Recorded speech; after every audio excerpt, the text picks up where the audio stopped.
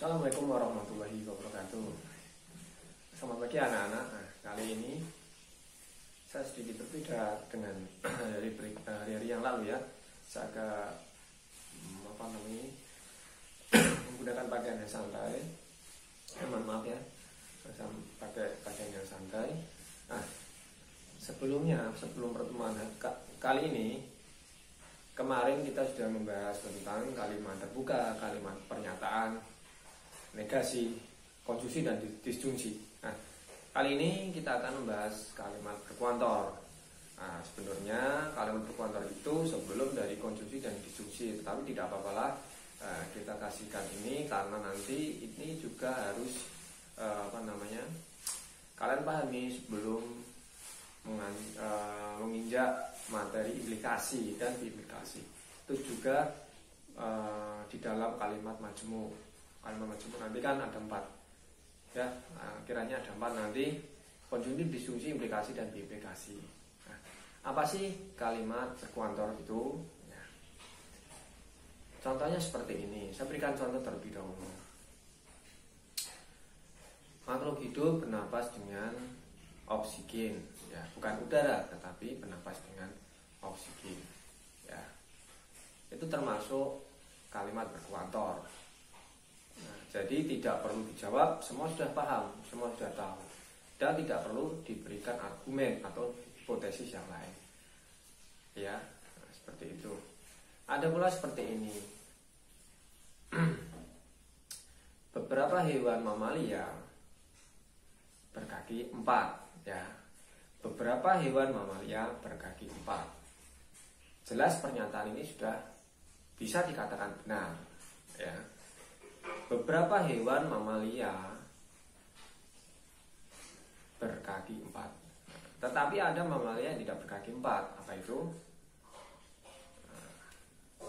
Hewan yang hidup di air, ya kan? Ya. Paus. Paus atau lumba-lumba. Nah, seperti itu. Paus, ya kan?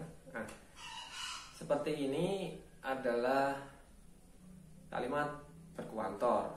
Nah, maka kita dapat simpulkan bahwa Kalimat berkuantor itu kalimat yang tidak perlu ada jawaban. Artinya ya memang sudah tahu itu benar dan salah. Seperti itu. Kalimat berkuantor uh, dibedakan menjadi dua ya nanti ya. Dibedakan menjadi dua. Kalimat berkuantor itu ada dua ya, seperti hal yang saya katakan tadi. Ya, ya, yang pertama adalah kalimat berkuantor universal Berkuantum universal ini uh, apa namanya ini tipenya atau cirinya itu ada kata seluruh atau bermakna seluruh. Bermakna seluruh atau memiliki kata seluruh. Ya. Nah, terus ya eh, contohnya tadi kita sudah buatkan bahwa seluruh makhluk hidup bernafas dengan oksigen O2 ya kan? Nah seperti itu. Untuk yang kedua yaitu apa namanya ini berkuantor eksistensial ya. Jadi eksistensial itu berarti kuantor ini beberapa saja beberapa saja. Jadi e, maknanya itu beberapa saja jadi tidak semuanya. Nah, beberapa hewan mamalia berkaki empat tidak semuanya, bukan? Ya, seperti itu. Jadi kalimat berkuantor ini memiliki dua jenis dan memiliki uh, kesimpulan bahwa kalimat berkuantor ada kalimat yang tidak perlu ada penjelasannya atau tidak ada jawabannya seperti itu. Oke ya. Nah, nanti coba kalian uh, berikan contoh kalimat berkuantor tipe 2 tadi ada satu dan dua uh, berkuantor universal dan eksistensial. Kalian berikan contoh di kolom komentar di bawah ini nanti kita berikan nomor undian kita undi dan kita kasih giveaway. Nanti di tiga minggu pertama ketiga uh, Jumat ketiga kita undi giveaway-nya. Ya.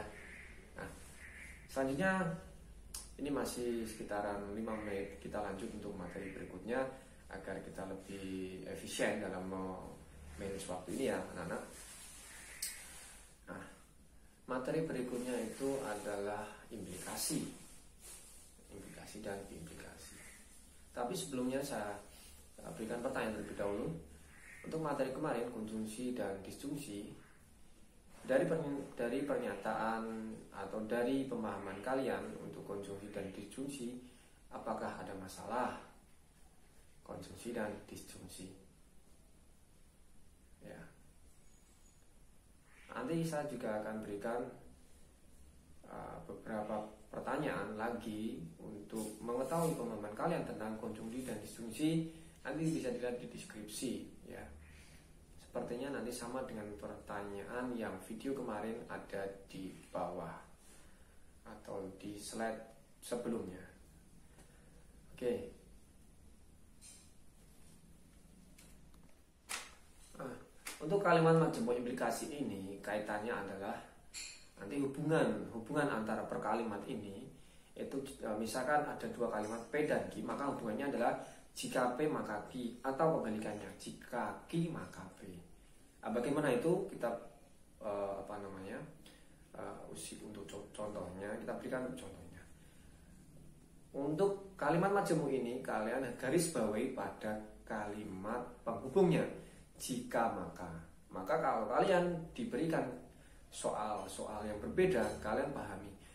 Jika pertanyaannya itu ada jika maka atau buatlah contoh kalimat implikasi maka kalian gunakan kata penghubung jika maka. Ya, contoh seperti ini. E, diketahui kalimat P sama dengan langit terlihat mendung. Itu P. Ya. Kalian bisa menulis juga di kertas kalian sambil belajar. Saya ulangi lagi, jika P sama dengan mohon maaf, kalimat P sama dengan langit terlihat mendung. Dan kalimat Q hari ini hujan. Ya. Maka kalau kita gabungkan dengan kalimat majmu implikasi ini, jika langit terlihat mendung, maka hari ini hujan. Nah, seperti itu. Atau kita balik. Jika Ki maka P. Jika hari ini hujan, maka langit terlihat mendung. Nah, maka kalau kalimat seperti itu, itu bisa dikatakan kalimat majemuk implikasi. Ya. Nah, coba kalian ulangi lagi dengan uh, membuat contoh yang berbeda menggunakan jika maka. Tetapi kalian harus paham bahwa kalian harus menggunakan logika yang benar ya. Jangan membuat kalimat yang khayal atau di luar nalar. Oke, untuk materi selanjutnya yaitu biimplikasi. Biimplikasi. Nanti untuk lambang dari implikasi nanti bisa dilihat di sini ya, di atas atau di sini samping. Pokoknya nanti di sekitar sini kita berikan implikasinya seperti apa lambangnya di sini. Oke. Oke ya kita lanjut untuk implikasi. Kalian juga bisa apa namanya ini uh, cetak handout yang kemarin saya berikan melalui grup WhatsApp ya seperti itu Nah, yang judulnya logika 2 itu sebenarnya logika ini materi banyak di di apa namanya ini di kejuruan kelas ya dari SMA ada kuliah semester 1 pun ada semester 1 semester 2 S2 pun juga ada. Jadi kalian ter merasa beruntung bahwa kalian sudah memiliki kepahaman untuk materi jenjang yang lebih tinggi. Nah, jadi kalian harus belajar bersungguh-sungguh pada materi logika ini tentunya. Oke untuk materi berikutnya itu implikasi. Implikasi ini kaitannya adalah dengan uh, kalimat ya atau hubungan antar kalimat nanti ada kata penghubung yaitu jika dan hanya jika.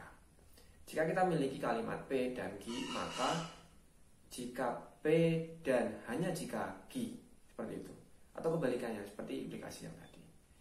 Tetapi kata penghubungnya ini digarisbawahi jika dan hanya jika. Bisa dilihat di handout kalian, contoh di handout kalian dibuka ya itu untuk uh, halaman 78. Hari ini tidak hujan untuk kalimat P, untuk kalimat Q hari ini tidak mendung. Hari ini tidak hujan, hari ini tidak mendung. Ya. Hari ini tidak hujan, hari ini tidak mendung.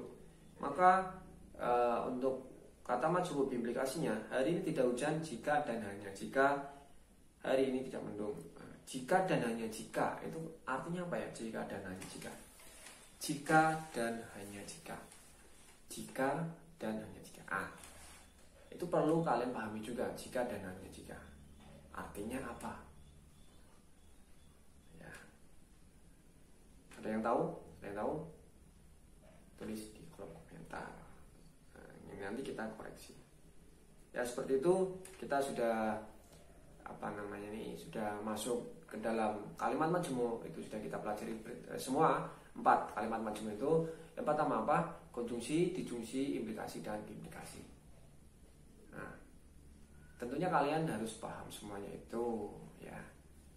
Nah, oh ya jika kalian ingin e, mencoba untuk materi induksi kalian bisa lihat link di bawah atau link di atas ini pojok sini nanti keluar. Link di atas sini. Nah, nanti kalian bisa mengaitkan rumus induksi dengan soal yang ada cukup sekian materi kali ini. Cukup untuk kalimat majemuk. Sesi berikutnya atau pertemuan berikutnya disiapkan untuk materi apa ini? Nah, penarikan kesimpulan. Jadi kita langsung ke penarikan kesimpulan. Ya silogisme modus ponen nah seperti itu. Oke, kita nanti pertemuan berikutnya kita pelajari silogisme, medus ponen dan uh, modus tolen ya. Seperti itu. Sudah, sudah selesai. Kalau itu sudah selesai, kita langsung masuk ke induksi matematika. Oke. Uh, sekian dulu dari saya. Wassalamualaikum warahmatullahi wabarakatuh. Jangan lupa like, subscribe dan share tentunya. Terima kasih.